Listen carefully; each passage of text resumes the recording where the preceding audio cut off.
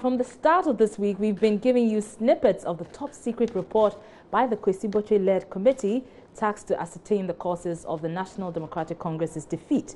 Today, we bring you details of another part of the report, which captures, uh, you know, reports of some NDC executives during the party's primaries that they sold date and registration forms to parliamentary candidates for tidy sums of money. My colleague Evans Mensah, who is also head of our political desk, joins me in the studio with details. Good evening to you, Evans. Good evening, Arba. Now, what are the specifics of uh, these details you talk about? So, you recall when they expanded the electoral college, the essence was that it's going to, be, it's going to make it very difficult for people to put delegates in a room and bribe them. Right. But what the another problem it created was this that data became so important. So the electoral college has been expanded, thousands and thousands of delegates. It's impossible to bribe everybody.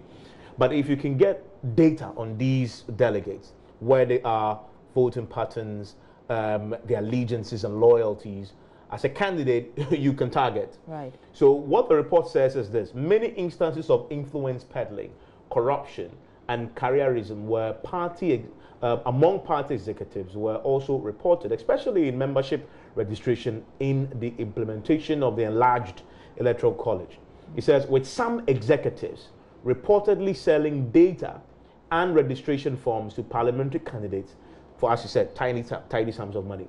Um, that is one of the key things that he discovered. But there's even more, and all this goes to the what they said in terms of the recommendations restoring the integrity, capacity, and effectiveness of the party organs. Mm. They make the point that they also noted the, uh, a, uh, that as, and they've also touched on this, the testimonies and expressed concerns of constituents everywhere that the party organs at all levels were marked by conflicts, infighting, factionalism. Mm -hmm. Okay. Now, examples were giving of um, of some of these outsiders. Outsiders were brought from Greater Accra to some specific areas in other regions mm -hmm. to come and run um, campaigns there.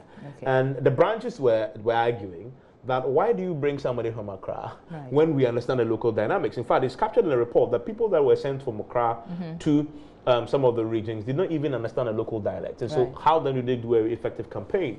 But you see, going into the elections, it appeared as if the NDC was very united. Mm -hmm. Now, listen to what the report said about the NDC and its um, whether it was united or not. It says, it is common knowledge that there are deep-seated divisions and an atmosphere of mistrust, suspicion, divided loyalties, also, and perhaps even worse, at the National Secretariat that cannot possibly make for effective decision making implementation, and monitoring. Mm. The divisions were again painfully evident when the committee met the national executive organs rather than sweep this truth under the carpet mm -hmm. um, and behave as if there's nothing happening. Right. He recommended the party should take seriously an attempt to deal with it. Well, this is quite interesting because, I mean, going into the elections, the impression created was that the NDC was quite united as opposed to the NPP, which uh, many thought were disunited. Yeah, mm. uh, but, but, the, the report was clear that the party appeared to be very, very divided across the country. In fact, it, it, talks for, and it mentions the Volta region. And the reason why the Volta region is important, we all know NDC's stronghold mm. uh, is the Volta region. They get a lot of votes there. But listen to what it says about the, about the Volta region. Mm. That the expectations of material reward are then further aggravated by what constituents see as a display of wealth right. and improved personal circumstances that come with appointments to political office. In the Volta region, we observe that the party has lost something of its, into bracket, connection with the people and has begun to open up an expectations deficit in the region, leading to a growing perception of neglect and being taken for granted. Mm. There also are deep divisions in many of constituencies in the region, that's mm. the Volta region. And that is the part that is interesting.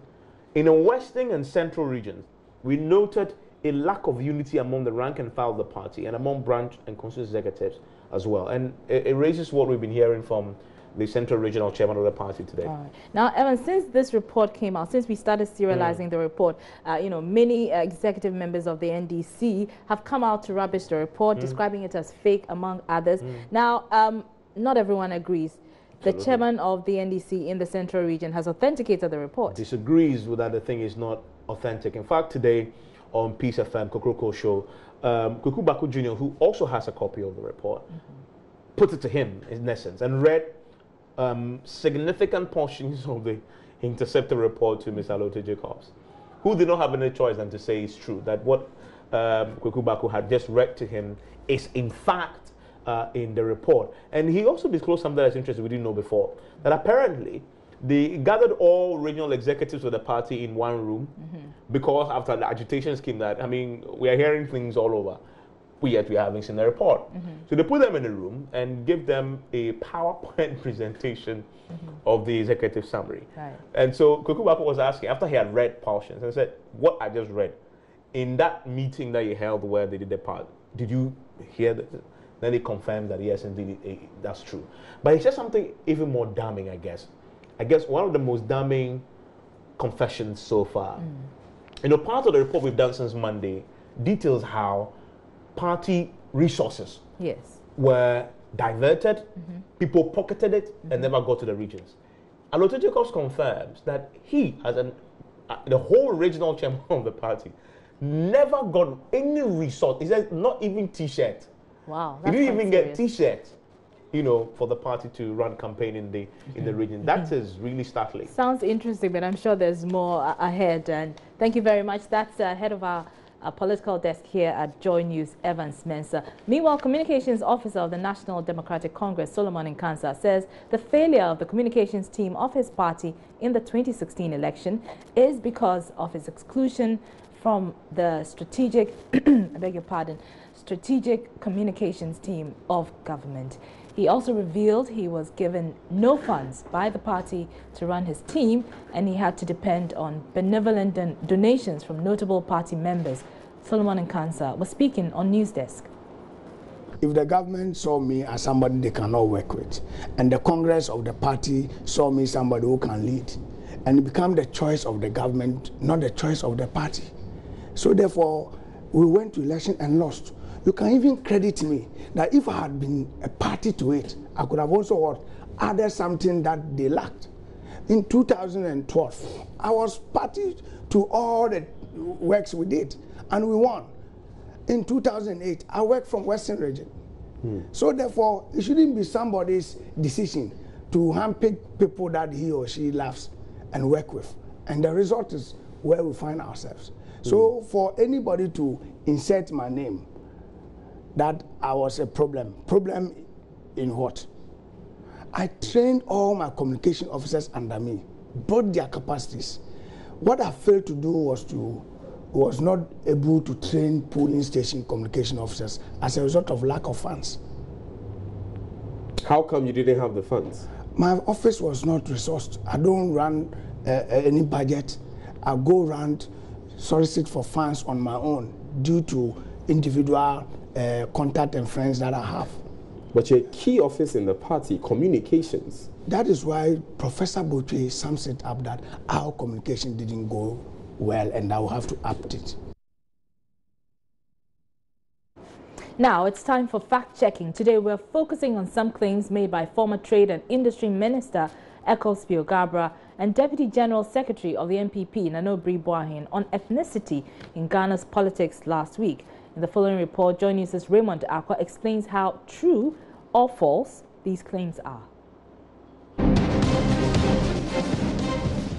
Let's start with Mr. Spio-Garbrah's claim on how long the governing NPP has been in existence. This is misleading. The new Patriotic Party was registered in July 28, 1992. Mr. Spio-Garbrah was probably referring to the antecedents of the NPP, which goes back to the formation of the UGCC in 1947. Many of its founders joined the United Party, UP, which later metamorphosed into the Progress Party, PP. The party, strictly speaking, cannot be said to have existed 60 years ago and had these attributes over the period of time referenced. We can now hear Deputy General Secretary of the NPP, Nana Obiri Boahen's claims on the educational background of Mr. Spio-Garbrah. The NPP Deputy General Secretary misconstrued the honorary Doctor of Law degree awarded by the US-based Middlebury College to Mr. Spio-Garbrah to be an academic PhD and erroneously referenced it as such.